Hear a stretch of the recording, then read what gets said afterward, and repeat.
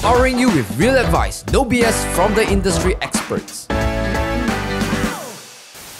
Hey, you're here because you're interested in your possibilities if you pursue fashion design and you need expert advice. Hi, I'm Ben Teng, your host, along with Ms. Zarina from the Institute of Creative Arts and Design in UCSI. What's up, people? First question, come on.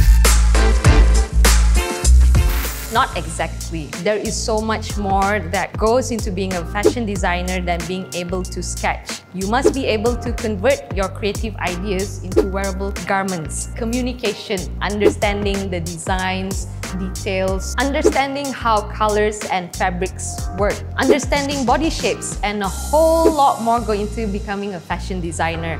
You have to bring out your creativity and combine it with the developments in the world to create magic. It comes from understanding consumers' trends, colors, textiles, business, advertising, and even artificial intelligence.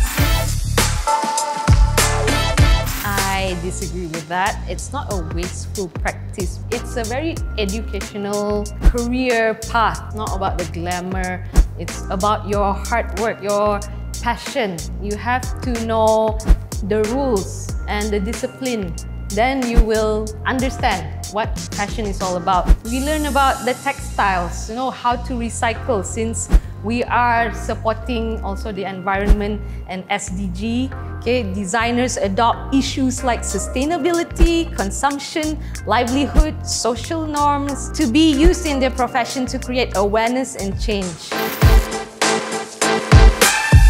Definitely no, because you have a lot of options. Today, careers have expanded. It has grown to include fashion bloggers, fashion buyers, fashion merchandisers, image consultants, fashion stylists, home stylists, costume designers, accessories designers, fashion writers, wedding planners, fashion event organizers, and much more. You will be traveling. You get to meet interesting people. You set creative targets and enjoy what you do.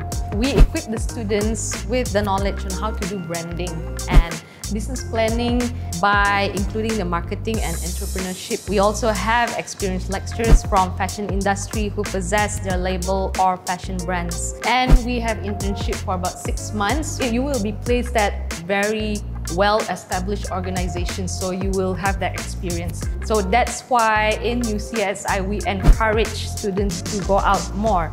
You know, when they're doing assignments, independent research where you have to go out, that is part of growing. Fashion design is not just a form of art. So let's do fashion design and make the world happier.